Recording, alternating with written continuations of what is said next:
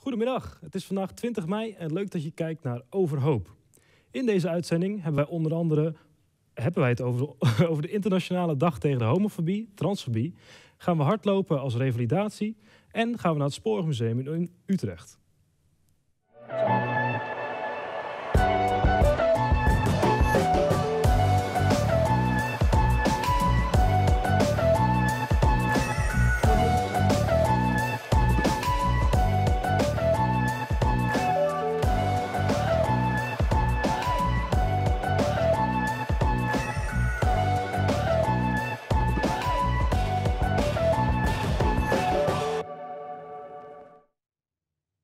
Maar we gaan nu eerst door met het korte nieuws met Mirte.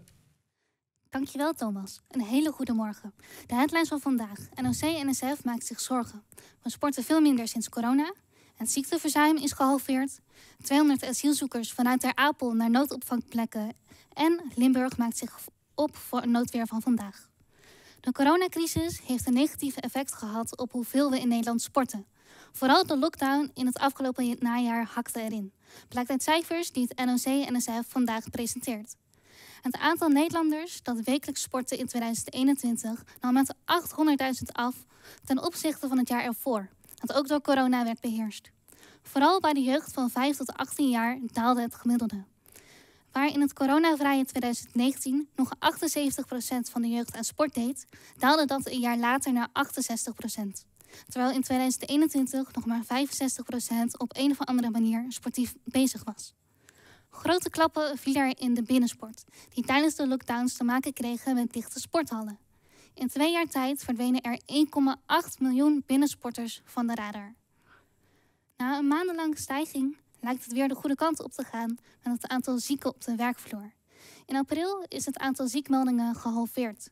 Dat blijkt uit cijfers van arbodiensten Arbonet en Human Capital Care. De griep lijkt op zijn retour. En ook het aantal ziekmeldingen door corona neemt af. Door die combinatie waren er in april bijna de helft minder zieken. In maart bereikt het aantal ziekmeldingen na maanden van stijging nog een recordhoogte. Op elke 100 werkenden waren er 11 ziekmeldingen. Nu is er voor het eerst dit jaar een daling te zien. En meteen een stevige. Zo'n 200 asielzoekers zijn vandaag in bussen vanuit het aanmeldcentrum in Ter Apel naar opvanglocaties in het Brabantse Budel en het Drentse Vledder gebracht met het COA. Omdat de asielzoekers zijn overgebracht, lijken vannacht geen mensen op stoelen te moeten slapen. Vorige week was dat wel anders. Toen moesten er zelfs mensen op de grond in de hal slapen. De laatste tijd konden vluchtelingen voor wie geen plaats meer was in Ter Apel niet direct naar een andere opvanglocatie, omdat er geen plek en geen vervoer voor hen was. Limburg maakt zich ondertussen op voor een zware regenval. We zijn extra alert. Na flinke regen- en onweersbuien gisteren maakte Limburg zich vandaag op voor opnieuw een grote hoeveelheid hemelwater. Met de overstromingen van vorig jaar zomer nog in het geheugen gegrift, is het waterschap Limburg extra alert. We hebben mensen vroegtijdig gealarmeerd, zegt een woordvoerder van het waterschap. We houden constant het waterpeil en de eventuele modderstromen door neerslag in de gaten, ook over de grens. Te veel regen in Duitsland kan ook voor wateroverlast in Limburg zorgen. Tot zover de headlines van vandaag. Straks kom ik terug op het weer. Terug naar Inge. Heel erg bedankt, Meerte. Afgelopen dinsdag was het de Internationale Dag tegen homofobie en transfobie. Door heel het land waren er verschillende acties voor deze dag. Zoals er afgelopen zondag al een roze viering in de ontmoetingskerk in Lelystad. Iedereen is welkom. 17 mei is het de Internationale Dag tegen homofobie, transfobie en bifobie. Ter ere van deze dag ging ik langs bij de Roze Viering in de Ontmoetingskerk in Lelystad. Uh, de Roze Viering is een speciale uh, viering voor mensen die LHBTI zijn. En niet alleen voor mensen die LHBTI zijn, maar voor ja, open-minded mensen, zal ik maar zeggen. Uh, de kerk is natuurlijk historisch gezien niet per se een uh, plek waar mensen uit de LBTI-gemeenschap zich altijd welkom hebben gevoeld. Um, en met deze vieringen in Lelystad willen wij laten zien dat die mensen ook hier in de kerk welkom zijn. Ik vond het heel mooi. Ik uh, ben zelf niet kerkelijk opgevoed, dus uh, het ja, begrip kerkdienst kende ik niet uit deze ervaring. De rolsviering is voor mij belangrijk omdat ik dan zeker weet als ik dan naar de kerk ga als LHBTI'er van joh, ik ben hartstikke welkom. Dus dat vind ik al hartstikke belangrijk. En ook gewoon dat überhaupt iedereen welkom is. Het is iets anders, denk ik, dan een reguliere kerkdienst. Uh, zo hebben we bijvoorbeeld, dat is volgens mij bij alle roze vieringen door heel Nederland, zeg maar, heb je dat moment met die kaarsjes aansteken. Uh, dat mensen achter elkaar in het midden van de ruimte kaarsjes aansteken. Uh, en voor de rest zitten er de, ook de gewone elementen in van een uh, reguliere kerkviering. Dus een stukje zang, uh, muziek, maar ook teksten. Ook werd er tijdens de dienst een roze zoen uitgereikt. Die roze zoen is echt een, een soort van uh, een bedankje, een blijk van waardering. Mensen die zich echt op een bijzondere manier hebben ingezet voor de LBTI-gemeenschap. Wanneer we te horen krijgen eigenlijk van die LBTI-stuurgroep van... nou, hè, deze persoon, misschien wordt het weer een keer tijd voor. Zo, dat is hoe het eigenlijk. Niet alleen in Lelystad was er aandacht voor de internationale dag tegen homofobie en transfobie. Ook in Steenwijk is er een regenboogavond georganiseerd. 17 mei is Internationale Dag tegen homofobie en transfobie. En Stichting Regenboog Steenwijkerland houdt daarom een regenboogavond in Steenwijk. Ja, we hebben vanavond onze eerste eigen vrijwilligers ontmoetingsavond vanuit de stichting. Uh, we zijn nu eigenlijk een jaar gestart en we willen graag uh, onze vrijwilligers en eventueel nieuwe vrijwilligers een gezellige avond bezorgen. We beginnen eerst met uh, een stukje te vertellen over wat we aan het doen zijn en wat onze plannen zijn voor het komende jaar. En daardoor kunnen nieuwe vrijwilligers uh, zich aanmelden om mee te denken over de activiteiten, over zich uh, of wat te bedenken. En daarnaast hebben we ook nog wat vermaak. We hebben een hele leuke pubquiz. In de week voor 17 mei is de stichting begonnen met een campagne waar je overal door Steenwijkerland dit soort borden kon zien. Het is nog steeds belangrijk omdat we nog steeds de heteronormativiteit, hè, de hetero is de standaard binnen de hele samenleving. En als je kijkt naar uh, uh, de homofobie, dat is nog steeds heel hoog. Vandaag was er ook in het nieuws dat homo's en lesbisch en zo, zeg maar, het acceptatiegraad heel hoog is, is bijna 75%. Maar acceptatie dat is eigenlijk niet. Want dat zegt je, je moet doen zoals ik dat wil in, in onze regels. Maar het gaat niet om acceptatie, het gaat om respect. En het gaat om wie je wil zijn. En daarom is deze dag nog steeds heel erg belangrijk. Het is 365 dagen per jaar is het heterodag. En een aantal van deze dagen mogen we dan hebben om te laten zien dat wij gewoon anders zijn dan anderen. En dan heel wat anders. Sporten is altijd gezond. Maar zeker als je revalideert naar borstkanker. Anton Schoonderbeek heeft een mooi initiatief opgezet om mensen na een heftige periode te helpen met revalideren door middel van samen hardlopen. 2014 uh, ben ik begonnen als hardlooptrainer en uh, ja, superleuk om te doen, mensen lekker in beweging te krijgen. En vooral deze nieuwe groep natuurlijk, de vrouwen met borstkanker, volop in beweging. Mensen die borstkanker hebben of hebben gehad, kunnen bij hardlooptrainer Anton Schoonderbeek terecht om een conditie weer op te krikken. Dit heet de Recovery Run. Uh, ik ben na de behandeling begonnen met hardlopen en wel had ik nog immuuntherapie, maar het ergste was al achter de rug toen ik begon. Tijdens de behandeling uh, ben ik begonnen met hardlopen. Uh, ik ben 1 september begonnen met de chemokuur en half oktober ben ik begonnen met dit groepje om te gaan hardlopen. Ja, specifiek begonnen met deze groep omdat ja, de noodzaak voor de vrouwen met borstkanker in beweging te komen. Het is bewezen dat ze zeker in, tijdens en na en voor de behandeling daar ja, heel veel baat bij hebben. Ze voelen zich veel beter in hun vel. En ze zijn even uit hun uh, visuele cirkel. Even andere beweging en even gezellig met andere dames. Even bijkletsen en daarna gaan we altijd lekker aan de slag. Ik heb hier een opleiding gevolgd uh, voor, bij Miranda Boonstra. Die heeft Recovery Nederland opgezet.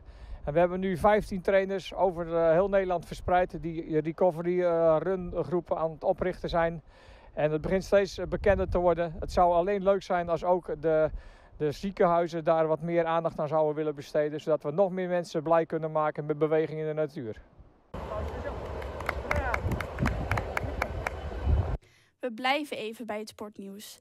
De dames van Sudosa Desto in Assen zijn gepromoveerd naar de eredivisie. En dat is voor het eerst in lange tijd dat een volleybalclub uit die regio promoveert naar het hoogste niveau in Nederland. Hey, Nou, eigenlijk kregen wij het via de staf te horen dat uh, ze het idee hadden om met Sudosa de Eredivisie in te gaan. Omdat ze vonden dat het een mooie ontwikkeling zou zijn voor de club. En zo is het eigenlijk bij ons binnen het team ook terechtgekomen. Nou, in het begin merkte ik dat het nog niet heel erg leefde. Dus we hadden het er onderling nog niet heel veel over gehad.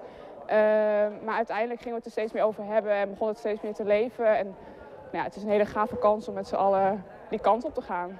Volgens mij moeten we met z'n allen daar een uh, gave ervaring van gaan maken volgend jaar. En sta je met z'n allen voor het eerst in de eredivisie te ballen. En ja, is dat een super gave uitdaging uh, om met z'n allen mee bezig te gaan. En moet je daar vooral focussen en zoveel mogelijk plezier maken en vooral genieten. En dan komt het volleyballen vanzelf wel.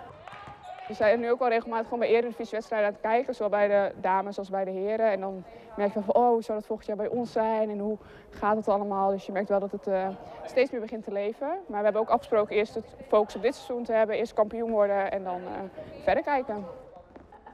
Het is toch superleuk. Het is al echt al meer dan 20 jaar geleden dat we in Assen dat we Eredivisie hadden. En nu eindelijk kunnen we de Eredivisie in.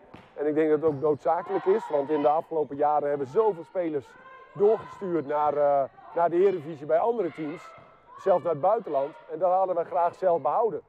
Maar dat kon niet, omdat ja, die spelers willen gewoon die stap maken voor, de, voor de Eredivisie. Ja, dat hebben wij hier niet. En nu hebben we het wel. Dus nu kunnen de toptalenten hier blijven.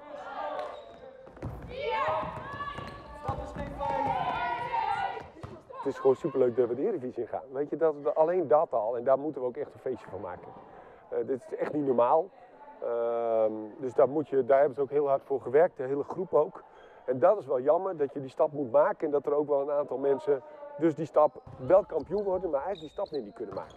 Omdat dat verschil gewoon zo groot is. Ja, je moet wel iedereen ook de, de kansen hebben dat ze, moeten, dat ze kunnen spelen. Maar die, het is gewoon echt een heel groot verschil. Maar het is natuurlijk superleuk. Daar moeten we allemaal heel veel van genieten en uh, een feestje van maken.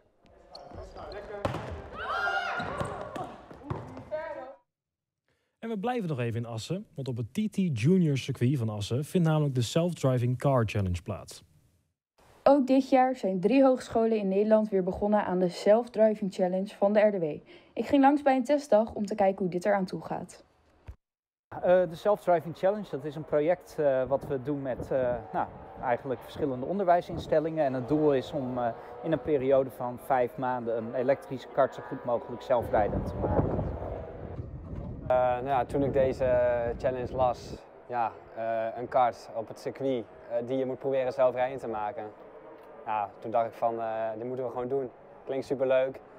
Ik doe veel nieuwe kennis op met programmeren en alles, dus ja. Ja, we zijn hiermee begonnen omdat we natuurlijk vanuit de RDW zijn we bezig met, met de, het, het type goedkeuring en alles rondom zelfrijdende voertuigen. Dus daar heeft de RDW een belangrijke, belangrijke rol in. Uh, en toen hebben we gezegd hey, hier willen we meer kennis van opdoen. We willen kennis opdoen van wat, wat doet een zelfrijdende voertuigen, hoe kunnen we daarvan leren.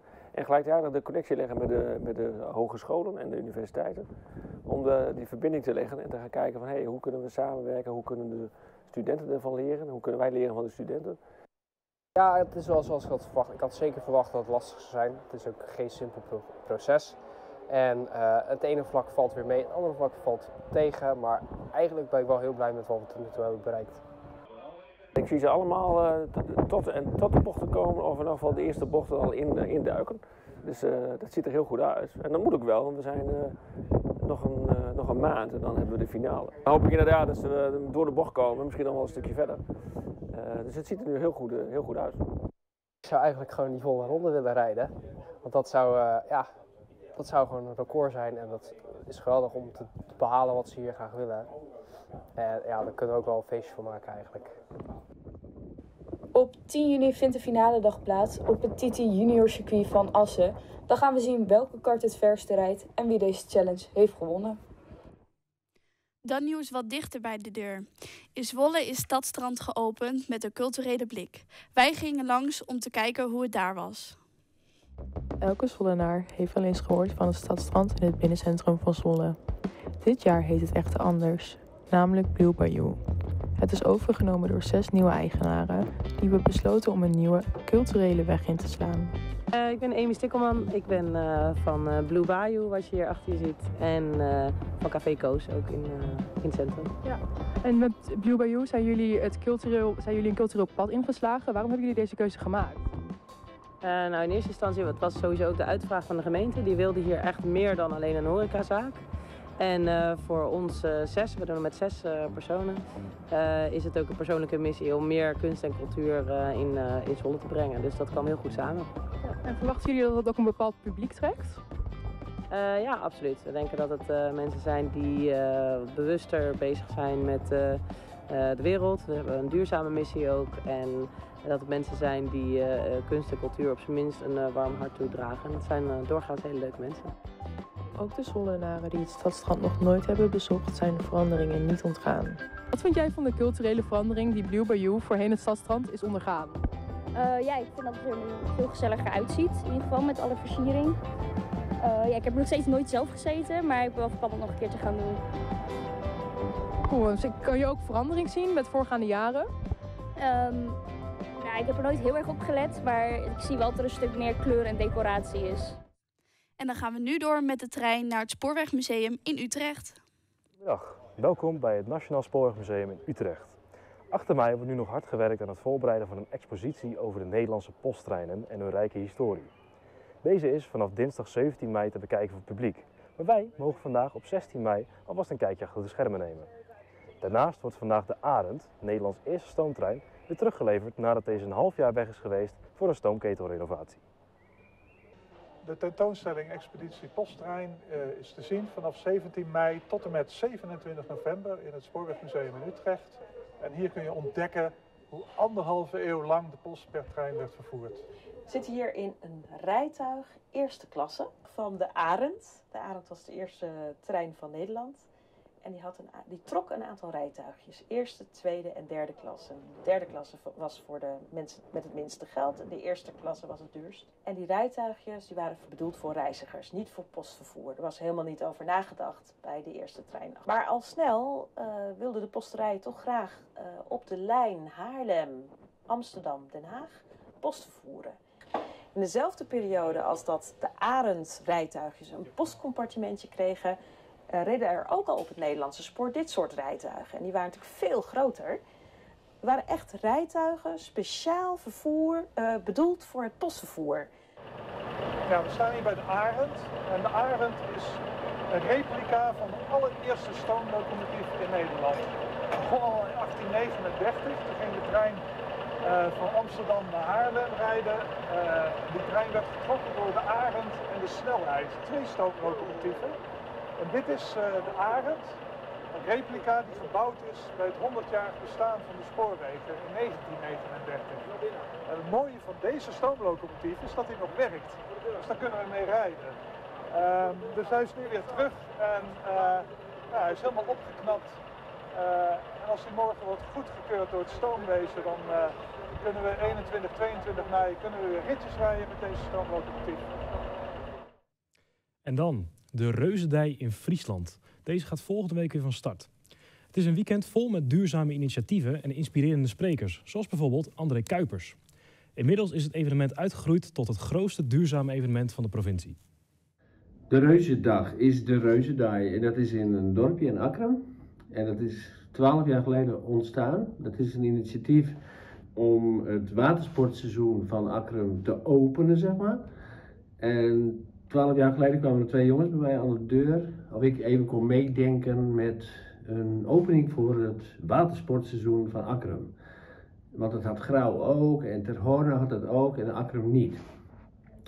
En toen, dachten, en toen vroegen ze mij, heb jij ook de mogelijkheid om een zonneboot te regelen? Want ik zit nogal in de zonnebootrace. En toen zei ik, nou ja, één zonneboot regelen, dat kan ik zo regelen, maar daar is toch niks aan. Dan moeten we het een beetje groter opzetten. Nou, dat is de Reuzendij geworden. En dat is gegroeid naar de grootste duurzame dag van Friesland. Eh, omdat we dat eigenlijk het belangrijkste onderdeel vinden. Het is ook de opening van het watersportseizoen en we vinden dat de jeugd alle aandacht moet krijgen. Dus als je tien dingen doet, dan krijgen sommige dingen minder aandacht. Dus we hebben besloten, de Reuzendraai die draait om de zonnebootrace. En dat is het belangrijkste van die dag. Die is nu ook twee dagen, eigenlijk een klein beetje al drie dagen zeg maar. En we willen die jeugd een heel mooi weekend bieden. En dat kan alleen maar als je de aandacht voor een groot deel hebt op de zonnebootrace. Hoe gaat het met de voorbereidingen van de Solar Race? Nou, ehm, met de voorbereiding gaat het wel goed. Het is onze eerste wedstrijd natuurlijk volgende week, dus dat is heel spannend. Want we hebben nog nooit echt mee kunnen varen aan de wedstrijd. Maar op het moment zijn we hard bezig om ja, wat technische dingen nog op te lossen. Maar als het goed is kunnen we volgende week varen. Dus daar hebben we heel veel zin in. En wat is er nou eigenlijk zo leuk om mee te varen met een solar, solarboot? Nou, eigenlijk heel veel dingen. En als eerste zou ik zeggen dat het leuk is omdat het elektrisch is en op zonne-energie. Dus dat het gewoon geen schade brengt aan het milieu. En ook dat het heel innoverend is, omdat je gewoon steeds ja, nieuwe technieken probeert en zo. Maar misschien het leukste wel is het wedstrijdaspect, dat je probeert een zo snel mogelijke boot te maken en andere teams probeert te verslaan. En dan nog een mooie afsluiter. Gisteren was er een demonstratie van Extinction Rebellion in Rotterdam. Climate justice, fight for climate justice, hey, Ja, en bij, en bij deze demonstratie was onze verslaggeefster Nina aanwezig. Welkom Nina. Dankjewel. Ja, ik was erbij. Dat is een uh, hele intense ervaring, maar ik ben blij dat ik er uh, geweest ben. Vertel, hoe was de sfeer? Ja, het was uh, heel energiek. Het was heel duidelijk dat iedereen heel erg blij was er te zijn. En dat eigenlijk deze week tegen het gebruik van fossiele brandstoffen begonnen is. En uh, ja, uh, hoewel het ontzettend hard regende, was er ontzettend veel energie. Uh, er was heel veel, er was live muziek, er waren ontzettend mooie kostuums gemaakt. En het was ook allemaal heel artistiek, want het was een vreedzaam en artistiek protest. Dus er waren onderweg ook nog een aantal performances opgezet. En dat gaf eigenlijk een hele goede sfeer over de hele dag verspreid. Oké. En voor de mensen die niet weten wat Extinction Rebellion is, kun je dat een beetje uitleggen? Uh, ja, ik denk dat de meeste Extinction Rebellion wel zouden kennen als uh, een beetje een extreme uh, klimaatgroep. Die ook wel veel in het nieuws komen, ook vanwege wegversperringen. Ja. En toch daarin wel soms illegale acties om eigenlijk uh, aandacht te krijgen voor allerlei milieuproblemen. Nou, en deze week ging dat dus over uh, het gebruik van fossiele brandstoffen. Okay. En dit was dan specifiek in uh, Rotterdam gepland, omdat Rotterdam is verantwoordelijk voor 20% van, van het gehele gebruik in Nederland van fossiele brandstoffen vanwege de haven die daar natuurlijk zit. Ja. Nou ja, en er wordt al lang genoeg geroep, geroepen door klimaatactivisten dat nu echt tijd is om er iets aan te gaan doen. En Extinction Rebellion is daar één van. Ja. Gaaf. Ja, net had je het over uh, performances. Wat voor, wat voor performances zijn daar uh, opgezet tijdens die demonstratie? Ja, het was, uh, dat was heel intens. Dat waren er drie. En dat ging eigenlijk, daar begon er met één. en dat ging over de hele route verspreid. Nou, en dat was dan, er was iets ook over Shell was georganiseerd. En dat was eigenlijk heel artistiek. om echt, zeg maar, een, ja, gewoon om indruk te maken en het bij mensen achter te laten. Oké. Okay. En er zijn nog meerdere evenementen deze week. Ga je die ook bijwonen? Of? Ja, er is, het gaat tot en met dinsdag gaat het door. Uh, en het zijn uh, allemaal verschillende dingen tot workshops en panels. En uh, dinsdag nog een groot protest om het eigenlijk af te sluiten deze week. Oké, okay, nou dankjewel voor je verhaal. Um, dan gaan we nu door naar het weer met Meerte. In de ochtend is er eerst nog wat zon, maar vanuit het zuidwesten komt veel regen aan. In het zuidoosten is er kans op zeer zware onweersbuien met overlast tot gevolg. In Limburg kunnen er ook nog windstoten aan tot wel 100 km per uur. Daar kunnen onder meer zogenoemde onweerscomplexen bij zitten. Dat is een lijn van hele zware onweersbuien. Er wordt opnieuw rekening gehouden met code oranje in Limburg. Voor de buien uit wordt het 20 tot 26 graden. Dat was het nieuws. We willen je heel erg bedankt voor het kijken en fijn, fijn weekend. weekend.